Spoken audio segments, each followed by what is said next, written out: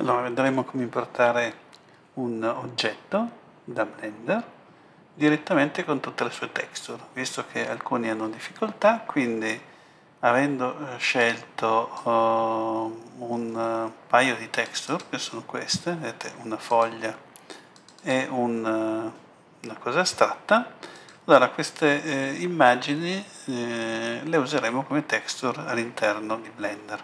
Mm?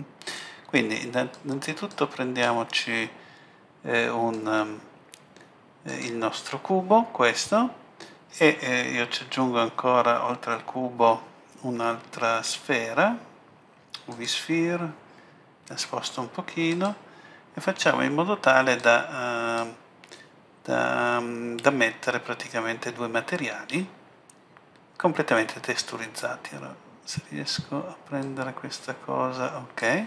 Quindi andiamo nella parte ehm, del ehm, eh, dunque qui andiamo. Eh, la fa vedere. Allora vediamola qua. UV editing dove abbiamo praticamente le nostre texture e ci importiamo le nostre texture uno dei modi più semplici è semplicemente quello di prendere le texture e metterle dentro in questo modo vedete che abbiamo già creato i due riferimenti alle due texture e abbiamo fatto soltanto una trascina. Mm? Ehm, questa cosa è la primissima cosa che facciamo e poi cerchiamo di assegnare il, la sfera a una delle due texture e il cubo a un'altra.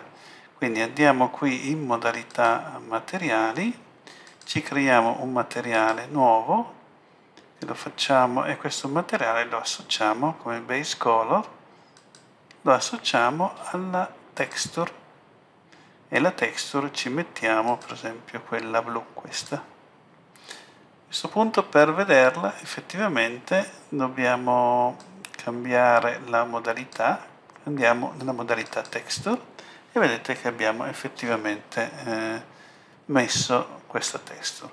Facciamo la stessa cosa anche per il cubo facciamo base color image texture e ci mettiamo la texture l'altra questa foglia. Quindi abbiamo una splendida scena che ha due texture contemporaneamente. Ora queste texture ricordo che le avevo messe in una cartella che è questa e, e ehm, l'ho messa in una cartella proprio per poterla uh, rintracciare facilmente. Mm?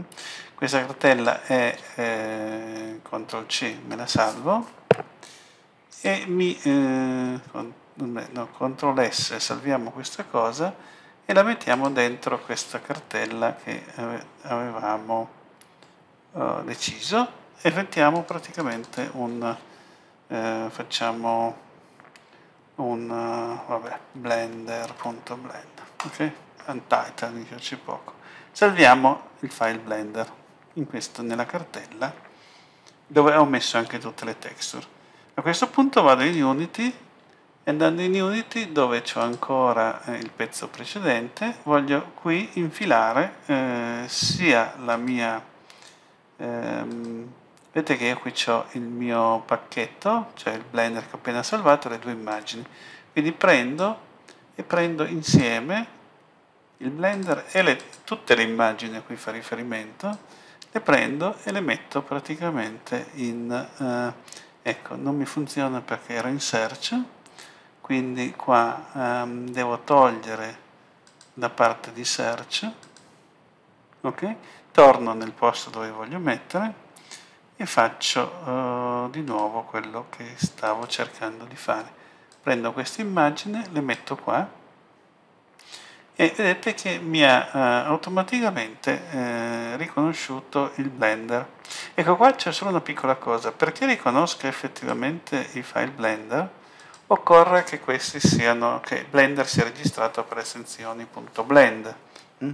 Quindi nelle eh, associazioni qui dovete avere cura che le associazioni siano giusto, giuste. Quindi dovete andare praticamente a selezionarvi il blender e, e dire che è associato il file.blend. Oppure ancora più um, semplicemente andate nel vostro file.blend e gli fate il apricon e gli dite andate a cercare attraverso tutta questa tiritera, andate a cercare praticamente il, il blender.exe, la versione che vi interessa, e a questo punto siete sicuri. Allora, quando Blender è costruito, quindi potete prendere tutta questa parte qua, vedete che c'è dentro tutte le, le cose che ci interessano, se clicchiamo vedete che le texture si sono conservate e le possiamo mettere direttamente nel nostro ambiente. Qui vedete, mi ha fatto notare Michelangelo, che eh, questo, cioè in realtà è abbastanza chiaro, si vede che c'è una camera e una luce di troppo e sono queste, camera e luce. Per poterle rimuovere non basta semplicemente fare tasto destro delete perché dice che questo è blu, è un prefabbricato e quindi occorre dirgli che non è un prefab, cioè spacchettare il prefabbricato, quindi tasto destro unpack prefab e a questo punto potete prendere la camera e la luce che sono qui dentro e le togliete, rimane soltanto il cubo e la sfera. Mm? Questo pezzo lo potete trattare come un oggetto unico. Mm? Qui c'era già un VRC World che era lì, quindi lo mettiamo un pochino uh, staccato e, e lo ruotiamo in modo tale da, okay, da vedere più o meno questa scena e ehm, praticamente ecco vedete che ah no, questa qui è l'altra camera comunque facciamo CTRL S e se noi entriamo a questo punto in VRChat dovremmo vedere tranquillamente il nostro oggetto completamente texturizzato. Facciamolo, giusto per essere sicuri, quindi entriamo in Build and Test, facciamo la compilazione e il test in locale, come al solito, per VRChat. Quindi ci entra nella finestrina VRChat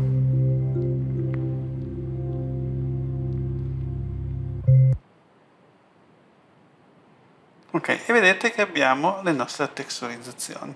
Qui a parte che fa un po' schifo la sfera perché non l'ho messa smooth, ma il concetto è che le immagini che ci ho messo sopra si sono conservate, quindi nel bene e nel male abbiamo fatto tutto quello che ci interessava.